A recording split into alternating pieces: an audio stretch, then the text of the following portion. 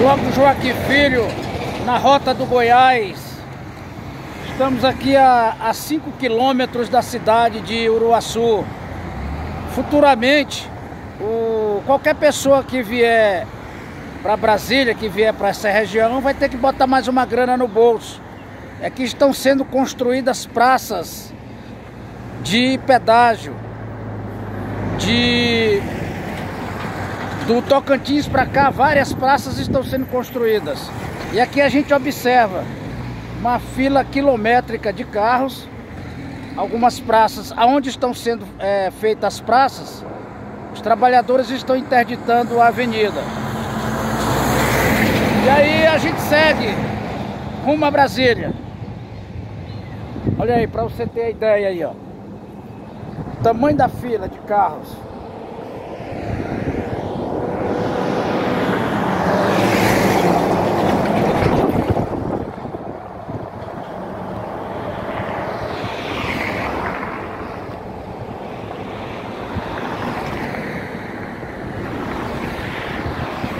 Beleza, a gente segue viagem.